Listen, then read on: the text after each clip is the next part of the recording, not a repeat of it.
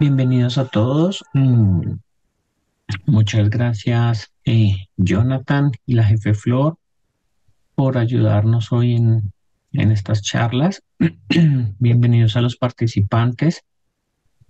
Tenemos eh, nuestra actividad semestral de la AMSI, eh, un, un repaso que vamos a hacer dividido en tres días de medicamentos que consideramos eh, se usan con frecuencia en la unidad de cuidado intensivo y la idea es hablar de, del riesgo que pueden generar estos medicamentos. Los dividimos en tres.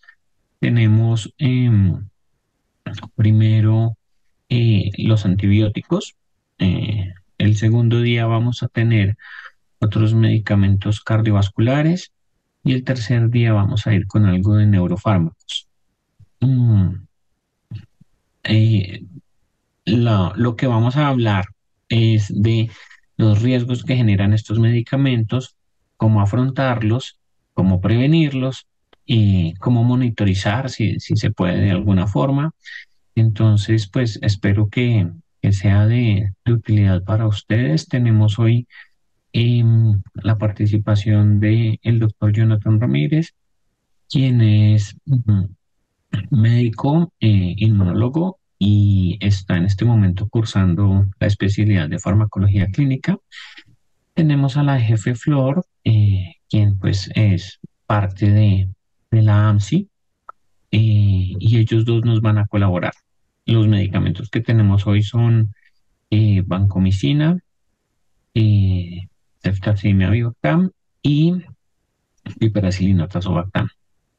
Entonces, mm, bueno, bienvenidos a todos. Muchas gracias por estar acá y yo creo que podemos empezar. Vamos a empezar con el doctor Jonathan.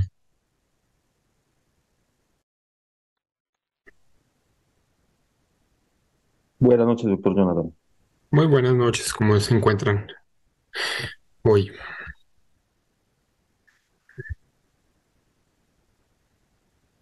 Bueno, ¿me confirman que se ve la pantalla, por favor? Lo vemos, doctor.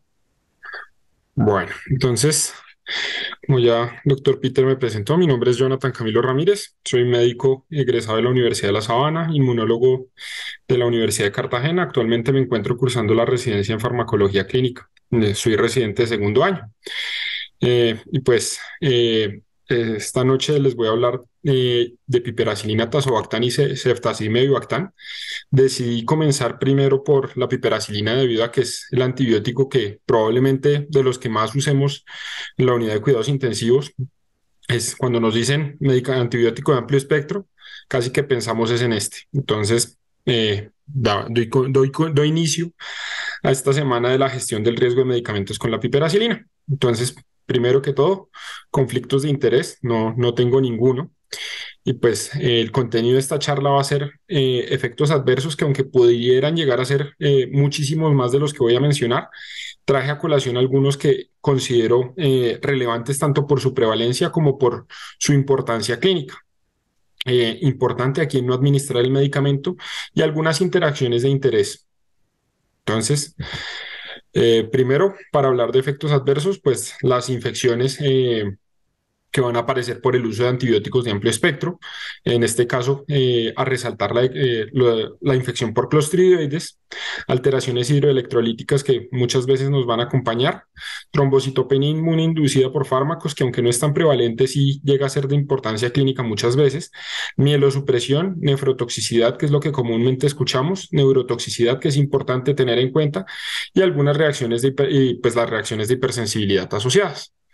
Entonces empezamos hablando con eh, de infecciones por clostridioides. Entonces a mencionar que, pues, o, como ya sabemos, el uso de antibióticos ya de por sí nos va a predisponer a, la, algunas infecciones, eh, ya sea oportunistas y pues en este caso el, el poder, el haber barrido, el haber eh, generado una disregulación en la homeostasis de la flora intestinal nos va a predisponer a la, aparición de infecciones como lo pueden ser por clostridioides.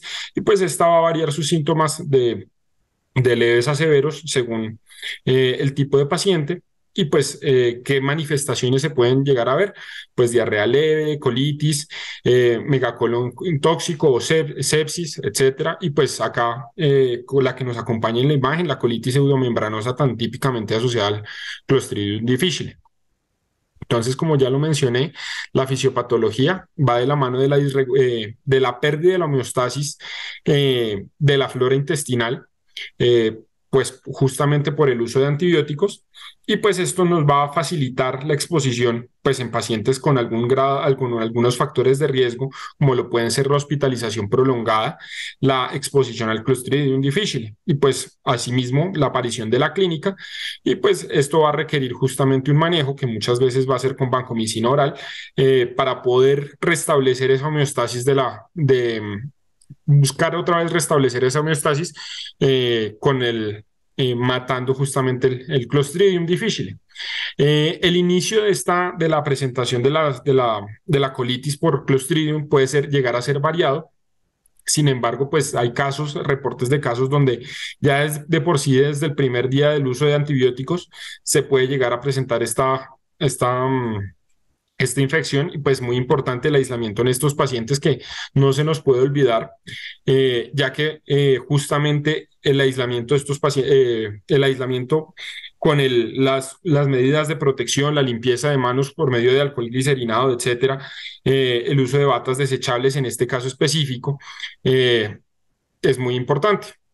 Como factores de riesgo, pues eh, eh, lo que ya mencioné, exposición a antibióticos previos, una larga estancia hospitalaria, eh, pacientes con edad avanzada, con condiciones de inmunosupresión, pacientes que han tenido alguna cirugía, manipulación gastrointestinal, medicamentos antiulcerosos que muchas veces los vemos y de por sí que en la UCI son tan importantes, de por sí que en la profilaxis, y también a tener en cuenta pacientes en quimioterapia. Bueno, Continuando con los electrolitos, a tener en cuenta la hiponatremia, ya que no muchas veces olvidamos eh, la composición misma del medicamento y es que la piperacilina tazobactam contiene hasta 65 miligramos, que es lo mismo que decir 2.84 miliequivalentes de sodio por cada gramo. Recordemos que las dosis que tendemos a usar son 4.4 gramos de piperacilina, acá hacemos eh, referencia nada más a la piperacilina, eh, y lo usamos cada seis horas, entonces resulta que estamos casi dando muchas veces una reposición pequeña de sodio, entonces es importante tener en cuenta en pacientes que de por sí muchas veces vamos a tener ya una alteración electrolítica por su enfermedad de base. Y concomitantemente con esa hiponatremia, muchas veces nos va a acompañar, eh, acá me disculpe, eh, me disculpan, es al revés, me equivoqué, es una hipernatremia y una hipocalemia. Eh, nos va a acompañar una hipocalemia subsecuente justamente secundaria a esa hipernatremia que sucede, que puede ocurrir en pacientes con baja reserva de potasio y aquellos que se encuentran recibiendo medicamentos concomitantemente que pudieran ya de por sí disminuir esos niveles de potasio. Eh, ah, ¿Qué nos dice la literatura al respecto de esa, de, de esa hipocalemia? Que se asocia curiosamente más a, las infecciones respiratorias, ya sea una neumonía nosocomía lo asociada al ventilador, sobre otras infecciones que pudieran llegar a presentarse, como lo pueden ser sepsis de origen urinario, piel y tejidos blandos, gastrointestinal, etcétera. Entonces, pues, como ese es como un dato curioso, sin embargo, pues es importante tener en cuenta en todos los pacientes. Y pues, este, ¿cómo se monitorea? Básicamente con el, eh, periódicamente, al menos cada tercer día, hacer un, un examen de los eh, de electrolitos en sangre a estos pacientes. Bueno, con respecto a la trombocitopenia, a mencionar que puede suceder eh, por dos vías. Una es inmunomediada y otra es no inmunomediada, que ya más adelante la vamos a ver en la mielosupresión. Con respecto a la inmunomediada, mencionar que eh, esta es, eh, funciona por medio de una aptenización. Eh, recordemos que el anillo beta-lactámico puede ser una estructura algo inestable y esa misma inestabilidad la, lo, al ser una estructura tan pequeña y tan inestable, necesita ya, sea de una cadena peptídica, de, una, de un azúcar, para poder ser presentada como una, eh, como una, como una sustancia antigénica y funcionar como justamente como un antígeno para iniciar esa, esa respuesta inmunomediada. Entonces, eh, estas una vez ya se, se hace la presentación del antígeno de este, de el determinante antigénico mayor del antibiótico eh, a los pues justamente a los linfocitos T, pues vamos a tener una respuesta eh, inmunológica que va a buscar eh, justamente a las plaquetas para ser destruidas. Entonces, pues a tener en cuenta, muy importante esta, esta reacción adversa al medicamento, ya que aunque no es frecuente, es digamos, se clasifica como rara, es decir, inferior al 1%, llega a ser muy importante eh, y pues se habla de que un, NAIF, un valle de plaquetas, está alrededor de los 20 mil. Sin embargo, también hay casos reportados donde pacientes llegan a tener hasta una trombocitopenia de 6 mil plaquetas. El inicio puede llegar a ser variado, como es eh, inmunomediada, normalmente hablamos de una a dos semanas eh, posterior al uso del medicamento. Sin embargo, a, tener en cuenta, esto no genera memoria inmunológica. Sin embargo, también se aconseja no, eh, no reexponer al paciente en el próximo mes posterior a, la, haber presentado esta respuesta. Y se han llegado a ver casos pues algo más raros, donde inicia no a la semana, sino ya al partir del cuarto, cuarto día. Digamos que uno no esperaría una respuesta inmunomediada tan rápida. Bueno, continuando con la mielosupresión, pues esta se puede manifestar como neutropenia, trombocitopenia, agranulocitosis en general o pancitopenia. Como vemos acá de nuevo la trombocitopenia y a mencionar que este mecanismo no es inmunológico, no, no es inmunomediado, no es por aptenización.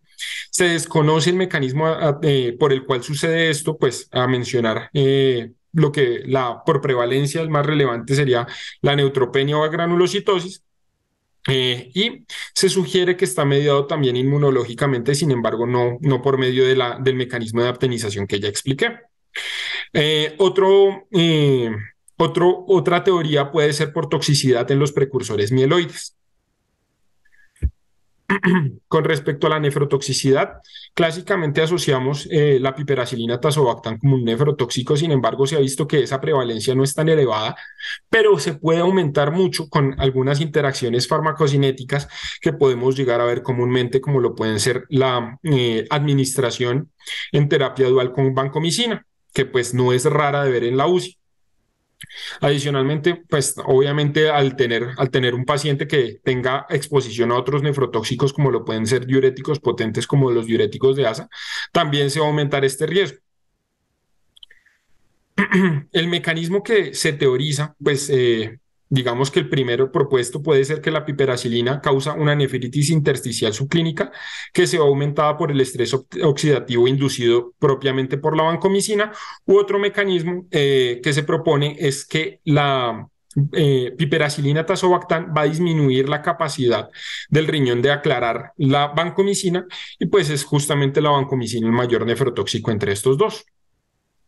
Eh, a mencionar, pues la el riesgo aumentado, el OR que se ha visto en esta, en esta combinación, en esta terapia dual de piperacilita de natazobactam más vancomicina, eh, llega a ser hasta 2.77 veces un riesgo aumentado con un intervalo de confianza que, no atraviesa la, unidad. Entonces resulta ser muy relevante esta combinación para hacer monitoreo de al menos uh, lo que tengamos a disposición para vigilar la, eh, la tasa de filtración glomerular, pues normalmente la creatinina a mencionar la neurotoxicidad, eh, pues las manifestaciones que vamos a tener van a ser la, encefalopatía, disartria, temblor, dificultad para hablar, alucinaciones auditivas y visuales, cambios en el comportamiento, desorientación, confusión progresiva y muy importante, hablamos de convulsiones tónico-clónicas generalizadas. Y es que eh, muchas veces lo que sucede con los betalactámicos es que tienen la capacidad de disminuir el umbral convulsivo y es por esto, aunque digamos que no hay una, una monitorización que se haga activa para esto, sí podemos, eh, sí se tiene que sospechar al momento de que un paciente que ya sea tenga una predisposición y pues suceda la convulsión o que empiece a convulsionar eh, en presencia de estos medicamentos, eh, pues en general los betalactámicos, es a tener en cuenta justamente esta neurotoxicidad. El mecanismo propuesto es que el anillo betalactámico se cree que puede ejercer un efecto inhibidor sobre la unión del receptor de GABA y por eso mismo es que resulta en una disminución del umbral convulsivo. Eh, aunque la piperacilina tazobactam no es de los más, eh, neurotóxicos que hay entre el grupo de betalactámicos, como lo pudiera llegar a ser el cefepime o hasta el meropenem, es importante también tener en cuenta qué factores de riesgo pudieran llegar, a ser necesarios a tener en cuenta al momento de hablar de la neurotoxicidad, pacientes con disfunción renal, enfermedad previa del sistema nervioso central. Eh, donde se incluye obviamente un paciente que convulsiona, eh, pacientes adultos mayores, pacientes críticos o el uso de dosis altas que pues va de la mano muchas veces con la función renal del paciente. ¿A quién no administrar el medicamento? Muchas veces eh, vemos medicamentos que tienen un sinnúmero de contraindicaciones, sin embargo, pues la piperacilina tazobactam, el único, la única contraindicación que vamos a tener es un antecedente de reacciones de hipersensibilidad a las penicilinas o a sus excipientes. Y pues esto eh, a tener en cuenta muchas veces no el paciente no nos va a referir, ay, usé piperacilina tazobactam, pero si pudiera llegar a referirnos a alguna otra, eh, algún otro medicamento del grupo, alguna otra penicilina. Y es porque tenemos eh, alguna serie de determinantes antigénicos mayores y menores eh, que van a ser de relevancia al momento de tener en cuenta las reacciones cruzadas. Como vemos acá, la gráfica de la derecha, las los distintos grupos de betalactámicos no se parecen entre sí, el único parecido es justamente el anillo betalactámico y a partir de ahí vamos a tener en cuenta cómo estos determinantes antigénicos que van a ser los grupos, el grupo, el, este es... Eh, este anillo que está asociado a las penicilinas, como lo vemos, sí nos puede llegar a dar una reacción cruzada. Sin embargo, esa reacción cruzada se disminuye al tener en cuenta eh, que se usen otros medicamentos como lo pueden ser cefalosporinas. Con los monobactámicos básicamente se reduce a cero esa probabilidad de reacción cruzada y con los carbapenémicos también es muy baja. Entonces, hablando de esa reacción cruzada, puede llegar a depender de un mecanismo mediado por inmunoglobulina E o por, células T. Eh, a, mencionar la desensibilización solo a tenerla en cuenta con, eh, en pacientes que tengan un mecanismo guiado por inmunoglobulina E, que pues obviamente el diagnóstico ya sería por pruebas moleculares o al menos un prick test de un, de un de una pequeña muestra de la piperacilina. Eh, sin embargo, pues estos serían casos muy específicos que se necesite una desensibilización. Eh, y adicionalmente, pues, como ya lo mencioné, esto depende de esos productos del, de, las, de los determinantes antigénicos que puedan llegar a tener cada medicamento. bueno, a tener en cuenta en esas reacciones cruzadas, el 2%, eh, menos del 2% de los pacientes con alergia a, las penicilinas muestran una reacción a las cefalosporinas. Entonces, pues el uso de, cefalosporinas en pacientes que hayan tenido una alergia a penicilinas no está contraindicado.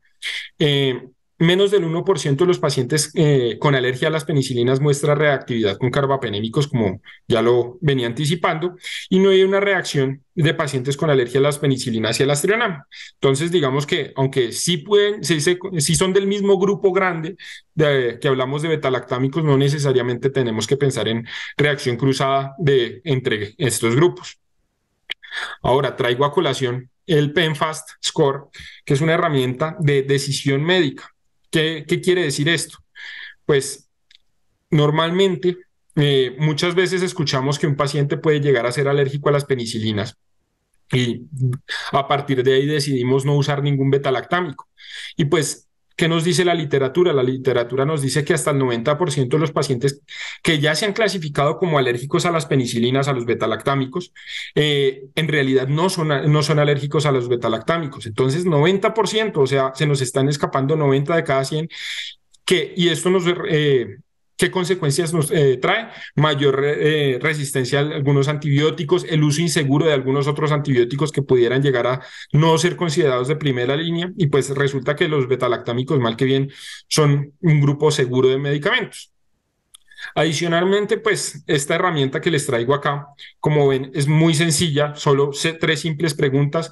Si, eh, si llegó a presentar una reacción en los últimos cinco años, suma dos puntos. Esta reacción, ¿cómo fue? Si fue una reacción de anafilaxia o angioedema o si fue una reacción eh, cutánea severa, como lo puede ser el DRES o el síndrome de Steven Johnson o la necroepiermiolisis tóxica, que también suma dos puntos, y pues obviamente la presencia del antibiótico que estamos evaluando que suma un punto. ¿Hasta qué, hasta qué riesgo podemos tomar? Entonces, eh, ¿qué nos dice la, la herramienta? Hasta dos puntos. ¿Listo? Dos puntos suman un 10% de riesgo de tener una reacción de, por hipersensibilidad al usar el antibiótico que usted esté pensando eh, del grupo de los betalactámicos. Entonces, como lo ven, una sola pregunta de los dos puntos bastaría. Para hablar de interacciones medicamentosas, usemos las herramientas que nos da la posmodernidad, porque pues es básicamente imposible saberse todas las reacciones que pudieran llegar a haber y pues es importante el uso de estas herramientas para que no nos coja por sorpresa. Sin embargo, traje a colación algunas reacciones de interés, algunas interacciones de interés, como lo pueden ser con relajantes musculares, que muchas veces pudiéramos llegar a ver pacientes eh, posquirúrgicos en UCI. Y pues resulta que el uso eh, de becuronio, por ejemplo, con, y pues en realidad los otros relajantes musculares no despolarizantes, en presencia de piperacilina tazobactam, pudieran llegar a ver prolongada su, eh, su acción, su bloqueo neuromuscular. Con respecto al metotrexate, la piperacilina puede reducir la excreción del metotrexate, que pues no, digamos que esto más de interés que en los pacientes reumatológicos, que sería la, eh, la indicación que se nos viene a la mente al tener en cuenta el metotrexate, es más importante en pacientes oncológicos, debido a las dosis tan elevadas que vamos a ver de metotrexate en pacientes oncológicos, y esto pudiera llegar a aumentar eh, el riesgo de, presentar neurotoxicidad por, eh, por metotrexate. Por último, el, a tener en cuenta los otros eh, nefrotóxicos que pudieran llegar a tener eh, en combinación el paciente. Entonces, a mencionar los aminoglucósidos, que pues adicionalmente de una terapia combinada que puede resultar en mayor nefrotoxicidad, es importante tener en cuenta una eh, incongruencia, una eh, incompatibilidad es la palabra que tiene eh, la piperacilina puntualmente con los aminoglucósidos y es que se ha visto que eh, cuando se preparan en conjunto pudiera llegar a antagonizar la piperacilina, por ejemplo, la, la gentamicina e inactivarla. Y por último, ya a mencionar la vancomicina, que ya la mencioné entre las interacciones, cómo puede llegar a aumentar la nefrotoxicidad. Entonces, pues los dejo con las redes sociales con las que me pueden contactar y un poco de propaganda hacia nuestro grupo que está, pues, constantemente sube eh, casos clínicos de interés, eh, pues, con medicamentos. Muchas gracias. Bueno, Jonathan, muchas gracias eh, por la presentación. Mm, para el público, las preguntas que tengan nos las pueden enviar al chat y al final de las presentaciones las vamos a contestar. Mm, Importante, pues, lo que mencionó el doctor Jonathan con lo que viene ahora de la jefe Flor, que nos va a hablar de vancomicina, porque como lo mencionó, es la combinación de antibióticos casi que más frecuente que usamos cuando, cuando estamos dando un manejo empírico a un paciente. Y, y esa combinación a pesar de tener como las indicaciones eh, epidemiológicas, tiene unas consideraciones que debemos mm, tener en cuenta para, para el momento de la prescripción. Vamos ahora entonces a hablar de, la vancomicina con, la jefe Flor Ernestina Becerra. Mm, es un enfoque desde, pues desde la parte de la, de la farmacología, de la, de la enfermería, perdón, eh, donde pues eh, de la mano con el uso de medicamentos, enfermería, pues es, es el, primer participante frente al paciente. Por eso es, consideramos muy importante que, que enfermería sea partícipe de, estas charlas y también de, de la educación continuada. Jefe Flor, buenas noches y, y, bueno, vamos con tu presentación. Bueno, buenas noches, bienvenidos a, a esta presentación.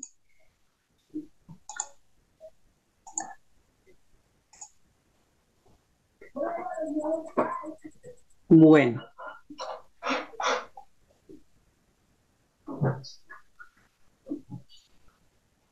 La jefe Flor ya la vemos adelante. Muchas gracias. Ya me ven un poco espelucada, pero bueno. Buenas noches a todos. Bienvenidos entonces a esta semana de gestión del reto de medicamentos en UCI y pues vamos a empezar con la vancomicina, que es el, el tema que vamos a manejar en esta noche. Eh, soy Flor Becerra Gutiérrez, enfermera especialista en docencia universitaria y trabajo como enfermera jefe en la Subred Norte Hospital Simón Bolívar. Ya llevo 29 años trabajando en esta institución y pues bueno, vamos a compartir un poquito de nuestro trabajo. Dentro de nosotros, dentro de nuestro quehacer de enfermería, tiene como un propósito el de conocimiento, potenciar el saber, saber cómo hacerlo, desarrollarlo y encaminar a nuestros compañeros para que empiecen a, es un, es un quehacer que nos ayuda a que entre todos hagamos una mejor relación en el conocimiento. Dentro de este grupo entonces de vancomicina es un antibiótico glucopéptido empleado para combatir gérmenes resistentes que inhiben la síntesis de la pared bacteriana celular y al unirse a precursores peptidoglucanos alteran la permeabilidad de la membrana celular y la síntesis de ARN.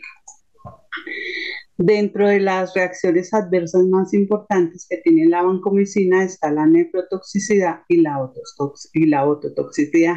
Dentro de la nefrotoxicidad, entonces la exposición sistémica a la vancomicina puede resultar en lesión renal aguda que se da en niveles elevados. Si a esto le aumentamos, eh, por lo general nosotros en las unidades de cuidado intensivo usamos los AINES, los aminoglucósidos y si el paciente que tenemos en manejo tiene enfermedad renal, pues puede aumentar su nefrotoxicidad.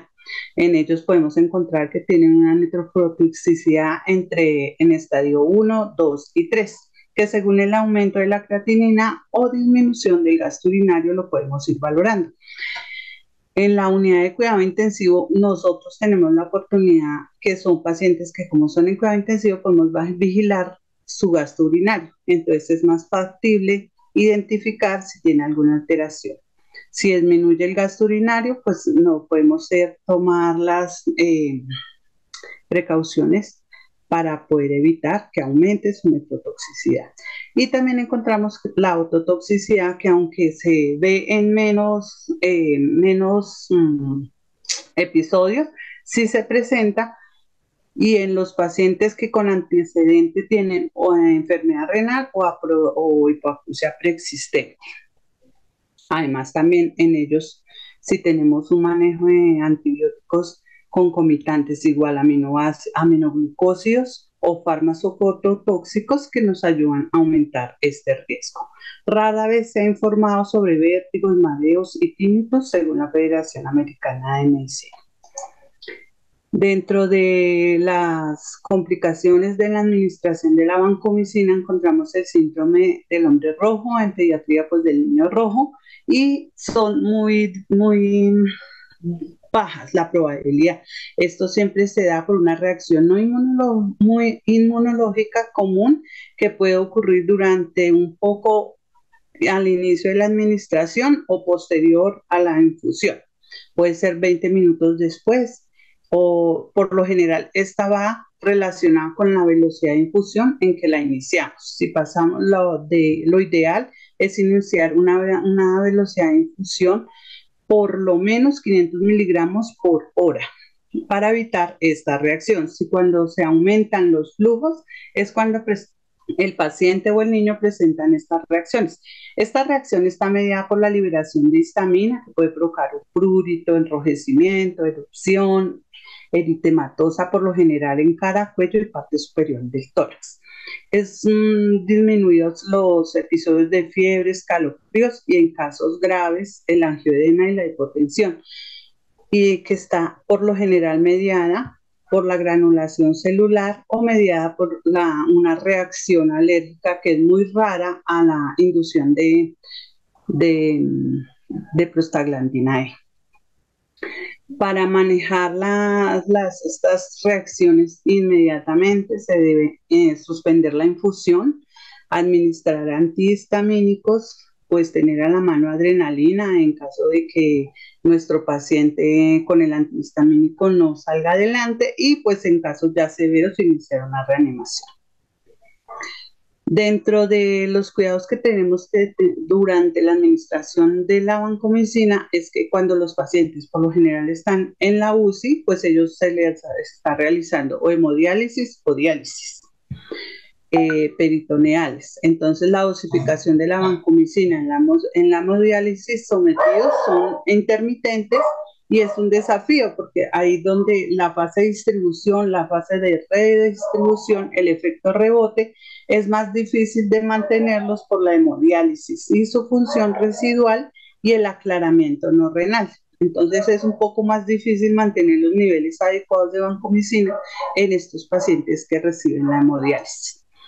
Es más diferente con las de los pacientes si ya tienen sus terapias continuas de reemplazo renal eh, por lo general se elimina eficazmente mediante estas terapias, solamente nos toca estar pendientes si la, terapia renal se está haciendo en hemofiltración venovenosa continua, hemodiálisis venovenosa continua y hemodialifiltración venovenosa continua.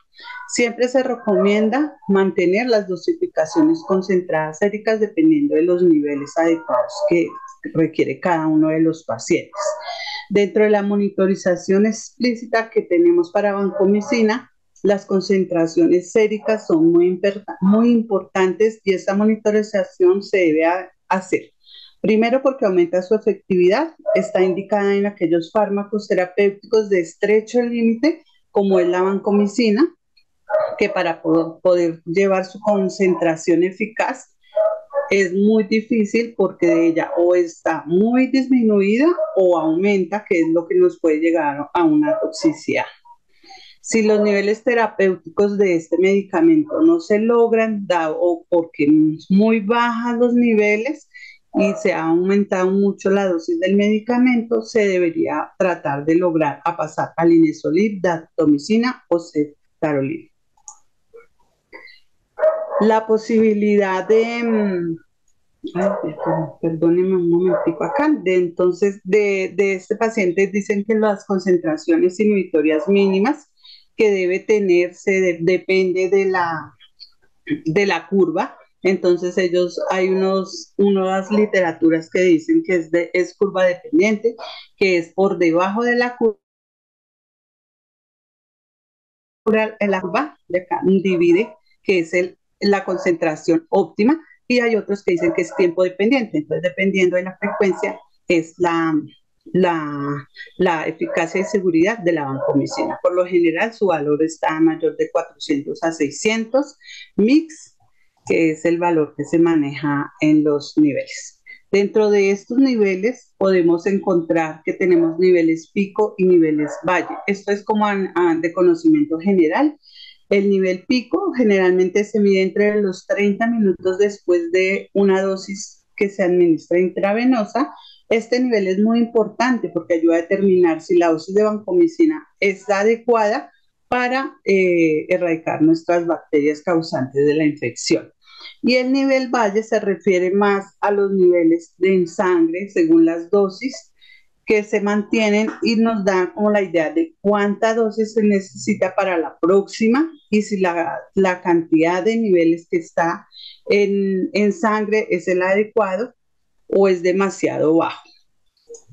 Dentro de los cuidados de enfermería que nosotros debemos tener siempre para la administración de la vancomicina, pues siempre se va a hacer subvigilar su administración, la presentación siempre viene en ampolla de 500 miligramos o un gramo en polvo para reconstituir. En dosis adultos se varía entre 15 a 30 miligramos kilogramo día o 500 miligramos o un gramo cada 12 horas. En niños 40 miligramos kilogramo día cada 6 a 8 horas, lactantes y neonatos 15 miligramos kilogramo día y la dosis máxima en adultos sería de 4 gramos día. Es un medicamento sumamente ácido, tiene un pH de 2.5 a 5. Su reconstitución debe ser con agua estéril, por lo general en 10 cc y en la, según la, mm, la mayoría de las eh, instituciones, lo ideal sería que fuera en central de mezclas y luego llevar la preparación a los servicios pero pues en nuestros, hay en, clínicas que sí se puede hacer, en hospitales como el de nosotros, que son de la subred norte, que son públicos, es más difícil. Entonces siempre se hace la preparación en, pues en los servicios. En la infusión tenemos que tener, si es una infusión intermitente, que quiere decir que debe ser en los niveles mínimos de 10 miligramos minuto y los niveles objeto para según para la infusión y la infusión terapéutica. Dentro de estos es, es importante no superarlo, ¿no? De 10 miligramos por minuto para evitar los riesgos que son de flebitis, de necrosis del tejido por extravasación. Las compatibilidades que encontramos para manejar la vancomicina durante la unidad de cuidado intensivo, por lo general tenemos múltiples medicamentos para administrar por una vía central, con solamente dos vías o una vía. Entonces tenemos que tener en cuenta que la compatibilidad en esta con vancomicina está la caspofungina, la gentamicina, el inesolía, el meropenem, el propofol con destroza al 10, con destroza al 5, solución salina, lactato de Riger y nutrición parenteral. Incompatibilidades, definitivamente toca usar una nueva, una vía aparte con la ampicilina, la cefazolina, ceftriaxona, hexametazona, omeprazol y piperacilina tazobactam. La estabilidad de nuestra mm, preparación eh, puede ser de 14 días en refrigeración reconstituida en nevera de 2 a 8 grados, sin pérdida significativa de su función. cuando la diluimos en el frasco, eh, su, su vida media puede ser solamente de 24 horas como en enfermería hay administración que se, se puede hacer administración continua, administración por bolos, su preparación eh, se debe realizar cada 12 o cada 24 horas, la estabilidad lo permite. Antes de la administración, entonces siempre enfermería pues debe confirmar los si es correctos, la permeabilidad del catéter, si es, si es un catéter periférico, estamos en hospitalización, o si es un catéter central, verificar siempre la compatibilidad y las interacciones con los otros medicamentos para evitar eventos adversos de nuestros pacientes. Por seguridad del paciente que se está tratando, se debe administrar siempre lo ideal es que sea por vía central. En pacientes en piso es muy difícil eh, colocar una vía central, pero lo ideal sería una vía central para evitar las flebitis, químicas, las quemaduras químicas y disminuir la necesidad de múltiples funciones durante el tratamiento. En hospitalización, eh, como hay infusiones continuas que uno puede iniciar cada 12 a 24 horas, en hospitalización no se deben iniciar estas infusiones, dado el alto riesgo de que se dañe el acceso venoso y no se den cuenta de la infiltración de la piel pueda causar una quemadura con múltiples lesiones adicionales. Entonces lo ideal es que esto no se, no se realice en hospitalización, pero en la unidad de cuidado intensivo sí no hay ningún problema. Eh, cuando hacemos eh, lo ideal de poner un catéter en hospitalización, traduce que la disminución de sucesos de seguridad y la disminución de funciones al paciente para mantener esa vancomicina por los cuidados. Durante los cuidados que se deben tener en cuenta para mantener que esta vancomicina se deben, se deben mirar los niveles terapéuticos que estén adecuados para poder continuar con el tratamiento y lograr así eh, que se dé un asertivo tratamiento, entonces debemos tomar unos niveles.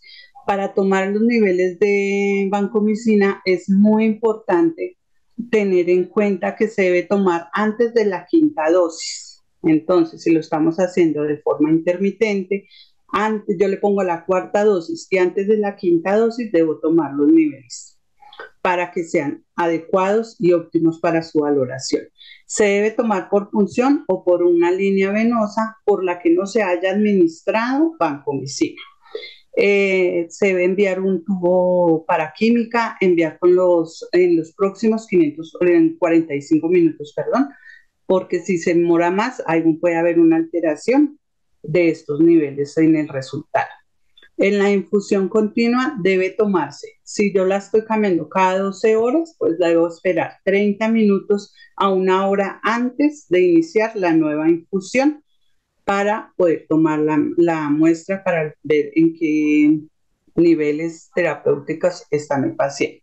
Siempre en la orden que nos da el médico para enviar al laboratorio, yo debo especificar dosis que está recibiendo el paciente, fecha de la toma, hora de la toma, la, la, la hora de la toma y la última dosis de vancomicina administrada.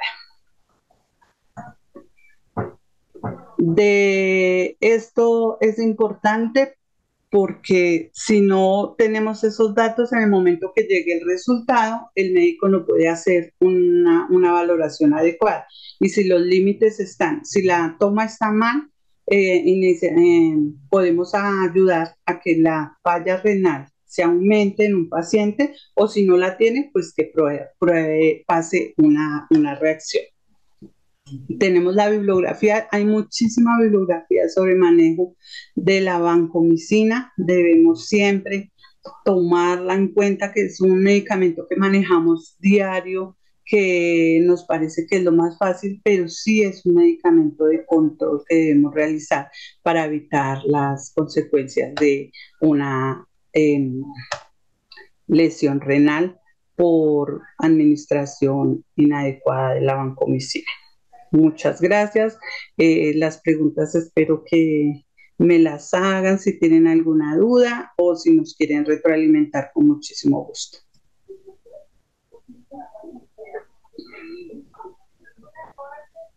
Bueno, jefe Flor, muchas gracias. Eh, si tenemos un par de preguntas, vamos con la tercera presentación, la de Jonathan, y ya ahí sí vamos a, contestarlas. Eh, todas las preguntitas nos las dejan ahí en el chat y en 15 minutos, apenas terminemos con la última charla, ya las contestamos todas.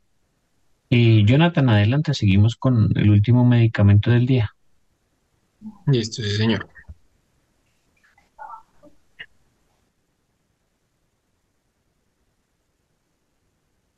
Bueno, ¿me confirman la que se ve la presentación?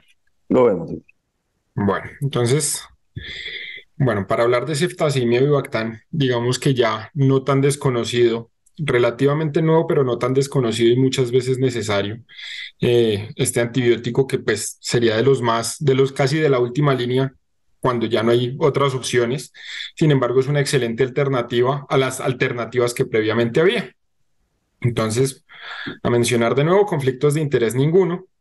Eh, con respecto al contenido, de nuevo, efectos adversos, eh, a mencionar algunos importantes. Eh, a quien no administra el medicamento, interacciones de interés. Entonces, de manera similar que como sucede con, con la hiperacilina tazobactam, digamos que vamos a compartir algunos efectos adversos, sin embargo, traje algunos otros que o son propios de acá del septacimia y o pues que no se mencionaron previamente. Bueno, entonces a tener en cuenta falsos positivos en algunos paraclínicos, específicamente en la prueba de CUMS directo. Eh, pues de nuevo, la presencia de infecciones, a tener en cuenta también las superinfecciones eh, por el tipo de antibiótico del que estamos hablando. Al momento de la infusión, eh, la presencia de trombosis o tromboflebitis como reacción infusional nefrotoxicidad, neurotoxicidad, alteración electrolítica que también vamos a ver acá, eh, sin embargo, con menor frecuencia, reacciones de hipersensibilidad y adicionalmente unos reportes de pancreatitis que se han hecho que me gustaría hablar al respecto. Entonces, primero empezamos hablando con la prueba de CUMS directo y resulta que hay una cero conversión en el, eh, justamente en este examen, en el, la prueba de CUMS directo. Y resulta que esta, eh, esta RAM se ha visto que es de las más frecuentes, llegando a representar el 21% de los pacientes que, a los que, se, que reciben ceftasimia bivactán. Digamos que varía entre un 3 a un 21% y esto varía justamente en el tipo de paciente que estemos hablando. Sin embargo, pese a que se asocie eh, a la positivización del CUMS directo, no se ha asociado y no se ha reflejado este, esta, este paraclínico con la presencia de anemia hemolítica inducida por medicamentos. Entonces, aunque sí pueda positivizar el CUMS, no se ha visto que eh, el paciente tenga anemia hemolítica. Eh, con respecto a las superinfecciones, a tener muy en cuenta la candidiasis, que pues digamos que el mecanismo resulta ser algo similar a lo que sucede, a lo que sucede con el Clostridium y es esa disregulación en la, eh, en la microbiota, en la flora que vamos a tener en los distintos tejidos donde puede llegar a ser la cándida un colonizante y la prevalencia va a ser variable según el tipo de paciente en, que puede llegar a ser inferior al 1% y pues sin embargo hasta un 5% en pacientes que llegan, lleguen a tener algún tipo de inmunosupresión. De nuevo, hablar sobre la infección por Clostridium pues de nuevo se presenta como con los síntomas que ya habíamos hablado en la hiperacilina tazobactam, desde una diarrea que puede llegar a ser algo leve hasta un megacolón tóxico o una eh, colitis pseudomembranosa que pues a tener muy en cuenta. Y a mencionar también que esto pues obviamente en las primeras semanas es importante tener en cuenta, sin embargo, eh, se ha llegado a ver que esta, estas eh, infecciones por Clostridium puede llegarse a presentar hasta eh, posterior a dos meses de la administración de la ceftazimia bivactam. Con respecto a la flebitis, pues es una reacción infusional, es decir, al momento de la, infusión estamos sometiendo al paciente en un riesgo y sin embargo esto se puede llegar a mitigar eh, con, el tipo de preparación y la velocidad de infusión. Eh, se habla de abundante líquido. ¿Cuánto es abundante líquido? Pues la preparación de la, del ceftazidimia bivactam se debería hacer eh, en unos 50, unos 250 mililitros la reconstitución y pues justamente en esto la administración. Y este medicamento debería administrarse a una velocidad pues relativamente lenta. La administración debería durar al menos unas dos horas. Eh, contrario a lo que podríamos llegar a ver en, algunos otros betalactámicos donde la infusión pudiera llegar a ser más rápida. A tener en cuenta, esta molécula, eh, digamos que por X o Y motivo no pudimos administrar el medicamento, eh, en una refrigeración en nevera de 8 grados puede llegar a tener una, una estabilidad la molécula hasta de 24 horas. En caso tal de una temperatura ambiente, pues eh, tenemos una, estabilidad de 8 horas, por eso una opción en estos pacientes, una muy buena opción, eh, más que los bolos, que como ya lo vemos no son bolos eh, en dos, porque pues es una infusión en dos horas, son las infusiones prolongadas de 2 a 4 horas para prevenir justamente esta RAM y pues mantenernos sobre la concentración mínima o el tiempo sobre la mica. Eh, la prevalencia de estas, de flebitis llega a ser hasta el 3%. Bueno, con respecto a las alteraciones en los electrolitos, digamos que son menos prevalentes que con la piperacilina tazobactam, sin embargo, también a, tener en cuenta, eh, y es la hipocalemia.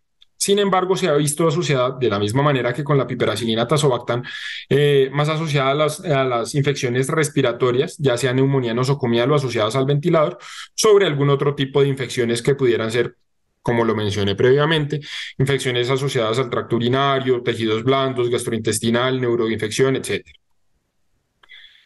A mencionar de la neurotoxicidad, digamos que se han eh, informado algunas reacciones neurológicas graves eh, asociadas a la ceftazidima principalmente, como lo pueden ser la asterixis, la encefalopatía, mioclonías, eh, excitabilidad neuromuscular y de nuevo, como con todos los betalactámicos, a tener en cuenta las convulsiones y el estado epiléptico no convulsivo pues, en pacientes que, pues como compete acá, que pudieran llegar a estar en un, en un estado pues, de coma inducido, ya sea por trauma, etcétera, lo que sea.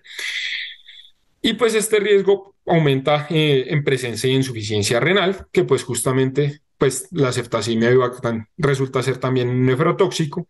Y sin embargo, de la misma manera que como sucede con la piperacilina, eh, esto, este riesgo aumenta al estar eh, en terapia con otros nefrotóxicos, como lo pudieran llegar a ser diuréticos como diuréticos de asa o pues algún otro antibiótico que también pudiera llegar a ser nefrotóxico, como muchas veces vemos una combinación con astrionam. Eh, en, en, una terapia, eh, en monoterapia, la ceftazidima bivactam, los, los casos de insuficiencia renal llegan a ser inferiores al 1%. Bueno, con respecto a algunos casos, unos reportes de casos eh, de pancreatitis, eh, estos casos, como lo mencioné, son reportes de casos, es una RAM muy, muy rara. Sin embargo, pues a tener en cuenta, eh, sin embargo, uno revisando la literatura a detalle, esos reportes de caso no, no fueron en monoterapia con ceftazidimia bivactam, que sería importante mencionarlo, sino que además tenían otros antibióticos como lo era la tigeciclina, que pues la tigeciclina de por sí ya puede generar pancreatitis, sin embargo, pues se cree que pudiera llegar a tener una, un riesgo aumentado la tigeciclina de producir pancreatitis en presencia de ceftazidimia bivactam, pero pues como lo menciono, son reportes de casos.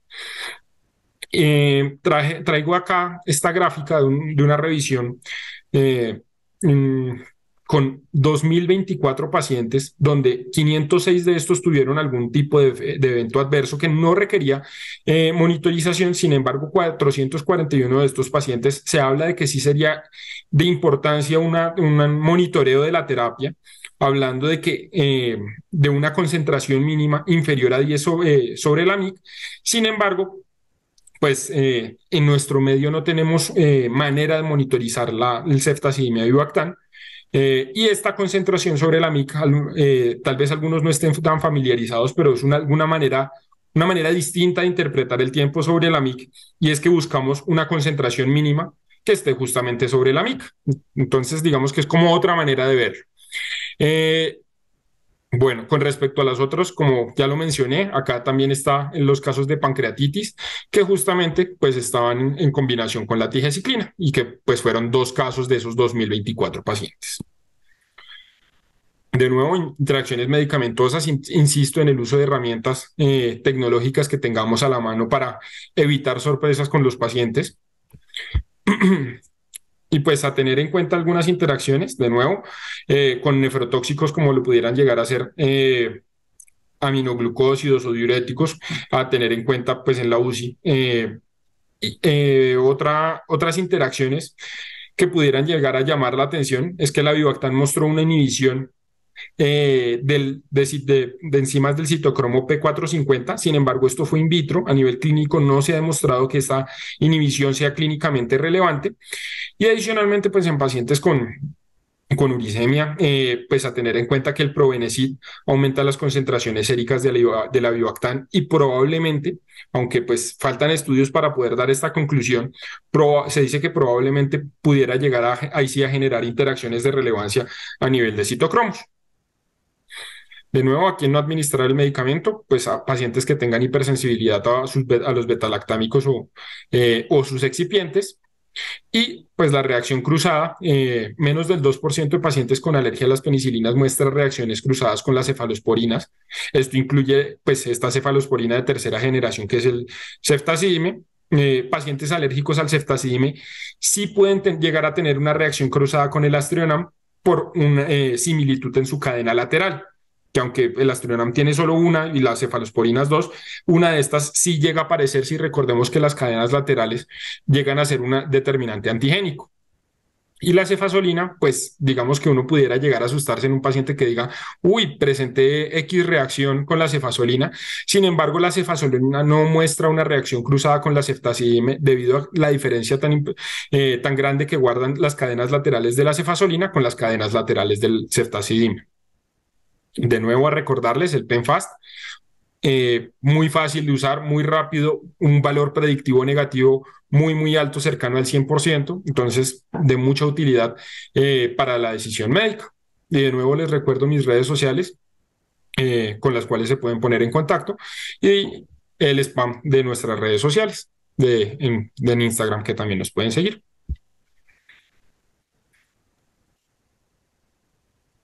Bueno, Jonathan, muchas gracias. Y mm, déjanos ahí la, la última presen- la última diapositiva por, por si la gente quiere tomar el, el pantallazo de las redes sociales, donde, pues sí, haciéndole promoción, tenemos y mm, varias charlas que están pues encaminadas al, al uso seguro de los medicamentos, al uso adecuado. Eh, ahí montamos eh, cada semana un caso clínico relacionado con farmacología. Y mm, bueno, vamos ahora sí con las preguntas que teníamos acá en el chat. Yo voy a leerlas. Y igual, si alguno de los, de los que están presentes ahí entre los, los asistentes tiene, tiene comentarios adicionales diferente a lo que, a lo que se mostró en las presentaciones, son, son bienvenidos. La idea de estos espacios es que, que todos podamos complementar y aprender. Acá dice mm, algunas recomendaciones con el piptazo en cuanto a la solución de dilución y velocidad de administración. Y yo vi que por acá habían contestado algo así.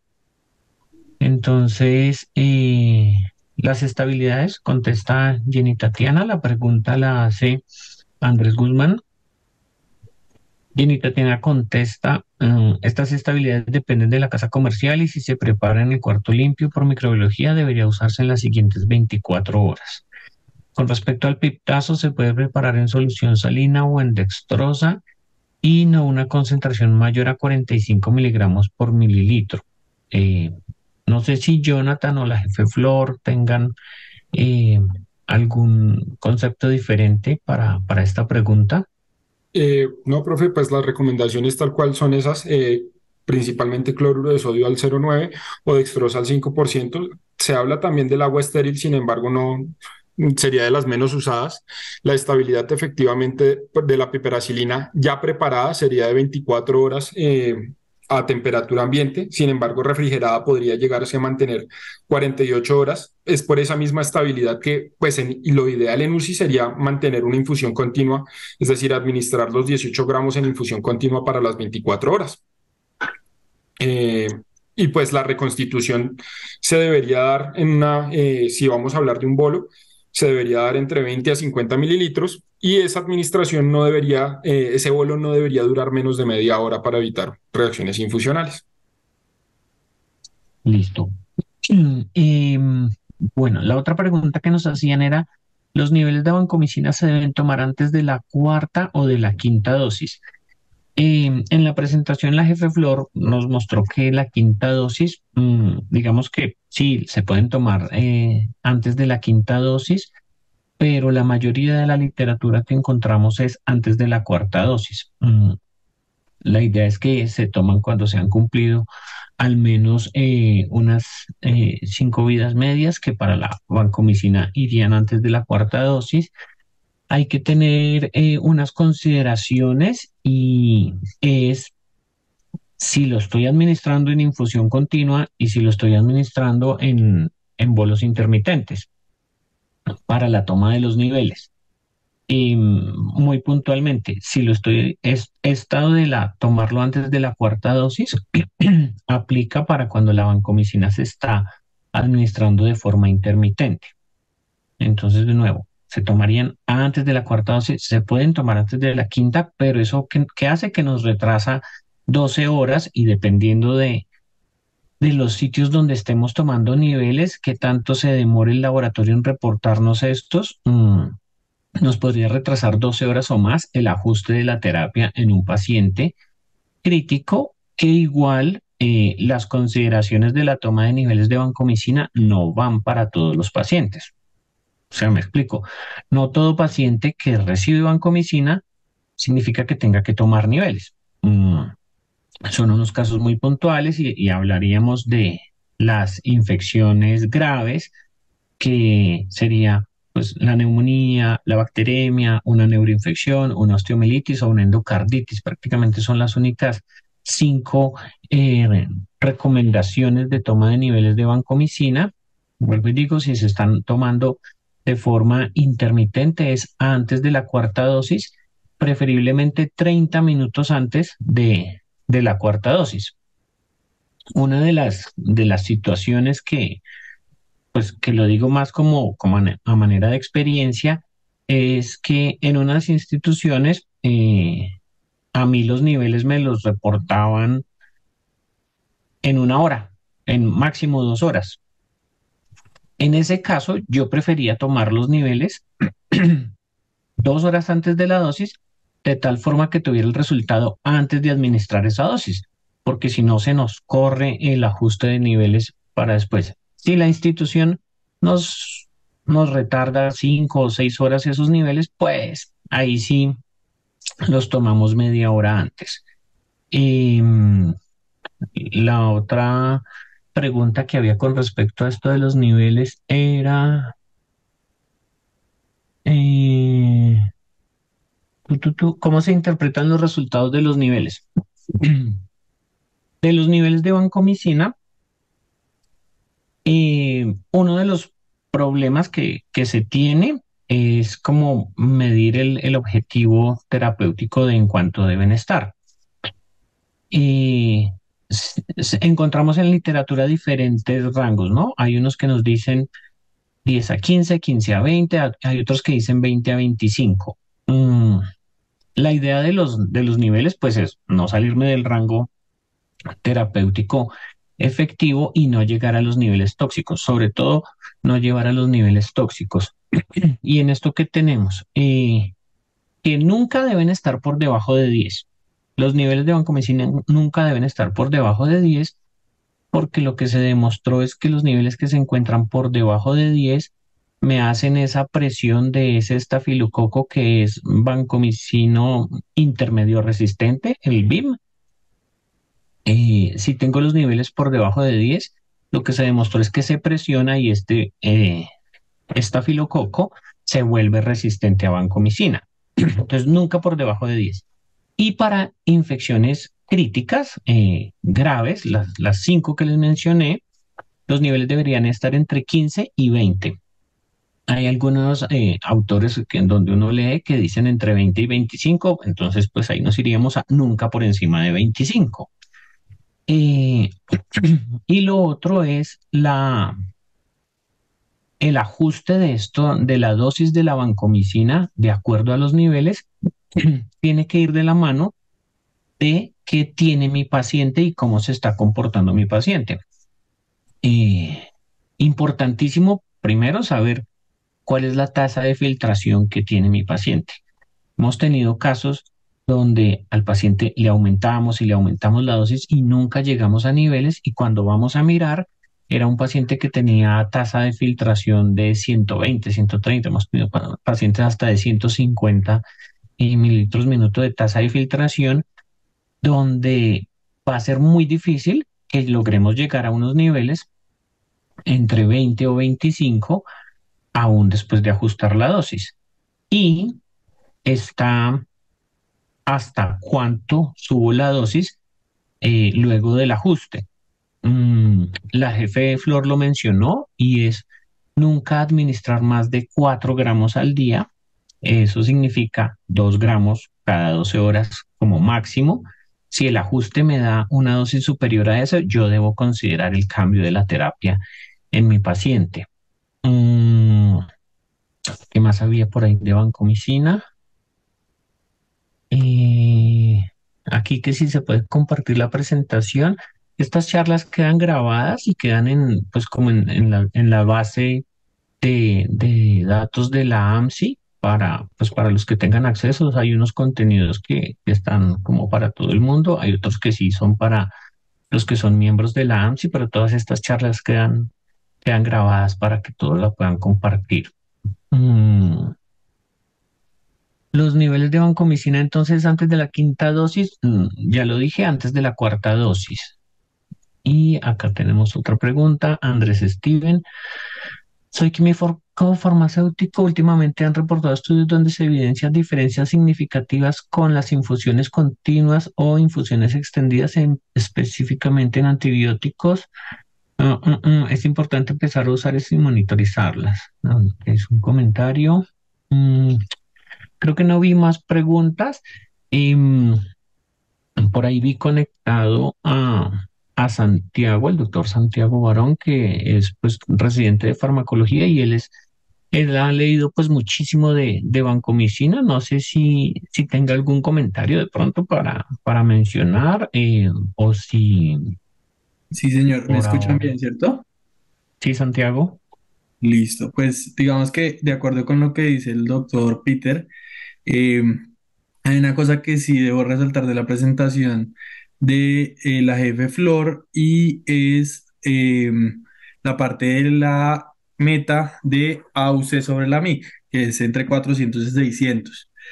Eso, pues digamos que en la práctica clínica puede llegar a ser un poco eh, dispendioso de medir, sobre todo cuando las infusiones no son extendidas, sino que son intermitentes, porque pues siempre va a dificultarse pues esa medida de área bajo la curva con, por los picos que se pueden llegar a dar durante pues el, la administración.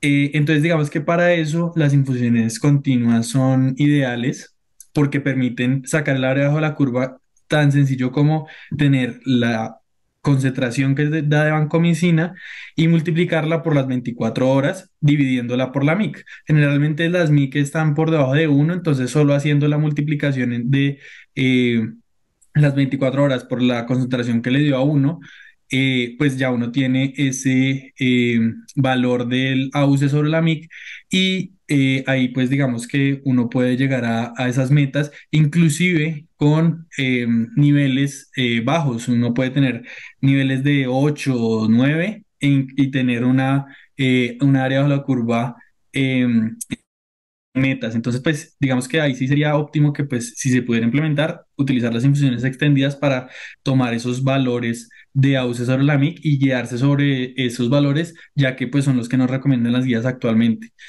Y con respecto a las infusiones extendidas en el resto de fármacos, sobre todo los betalactámicos, como hablábamos de ceftazidima y Bactam, de piptazo, eh, sí, pues sería lo ideal porque el, nuestro target, digamos, de PKPD va a ser tiempo sobre la MIC y manteniendo la misma concentración todo el tiempo, pues vamos a mantener ese tiempo sobre la MIC, digamos, casi que del 100%. Entonces, digamos que eso facilita mucho la, eh, eh, llegar a esos parámetros sin, pues, tener medidas que sean tan dispendiosas como, pues, digamos, tomar niveles de, beta-lactámicos, sino que con solo esa medida de, administrar las infusiones continuas podemos llegar a esas metas y, pues, llegar a, impactar en la eficacia clínica de los pacientes. Eh, sí, básicamente eso eh, tenía por, por decir. Listo, Santiago, muchas gracias. Ah, bueno, y, y otra, otra parte de la aclaración yo mencioné las cinco entidades, pero son las, eh, las cinco patologías en las que yo debo hacer el monitoreo. Ahora, hay pacientes que puede que no tengan esas patologías, pero que tengan otras condiciones que sí impliquen la toma de, la toma de los niveles, y entre esos está pues un paciente que tiene una o que ha tenido antecedente de, de enfermedad renal, eh, una lesión renal aguda, los pacientes con obesidad, los que tengo con índice de masa corporal por encima de 40, los pacientes adultos de más de 75 años, paciente que llevo tres o cuatro días de terapia y que, no veo una respuesta, pues también es, si, no se le han tomado niveles, es como, miremos los niveles a ver si esa es la causa del fracaso. Y el uso concomitante de medicamentos nefrotóxicos, ¿no? Entonces, mm, aminoglucósidos o otro tipo de, medicamentos, la piperacilina tazobactam, o sea, lo que les mencionábamos, esta es una, esta es una combinación muy frecuente y que creemos que de pronto no es tan, mm, tan poco perjudicial para el paciente, pero pues sí lo es, ¿sí? Se, demostró, lo dijo Jonathan, con, un, RR de, de, más de dos para que el paciente me desarrolle nefrotoxicidad, la combinación de piptazo más banco si recibe anfotericina, por ejemplo, eh, si está adicionalmente con diuréticos, estos pacientes implicaría la toma de los niveles. Y lo otro que también hemos visto es la toma de niveles eh, cuando, cuando mi paciente está recibiendo la vancomicina en infusión continua. Eh, ahí es como, bueno, ¿y en qué momento los tomo? En el tiempo en el que fuera más o menos la cuarta dosis, y no separa la infusión, que, que sí lo hemos visto a veces como, como un error mm, en algunas instituciones de detienen la infusión, toman los niveles y con así sea media hora, una hora, en algunos casos hasta dos horas, pues tomar los niveles dos horas después de parar la infusión, claramente voy a tener un, un, valor errado. Si es infusión, si son dosis intermitentes, media hora antes de la cuarta dosis, si es infusión continua, en cualquier momento, sin suspender la infusión, pero pues que haya sido el tiempo de más o menos la cuarta dosis. Mm, bueno, eso era lo que teníamos para hoy. Los invitamos mañana para, para ver pues unos medicamentos diferentes de que de pronto uno pensaría que no, que no se necesita tener un, monitoreo o una gestión en, en medicamentos como los betabloqueadores, como los ARAS, pero son medicamentos que cada vez basados en las guías estamos usando más frecuentemente en la unidad de cuidado intensivo, sobre todo los ICGLT2, y que nos pueden tener algunas eh, consideraciones o deterioro de enfermedades de base en el paciente. Entonces, muchas gracias a, los participantes, eh, a nuestros expositores y los esperamos mañana.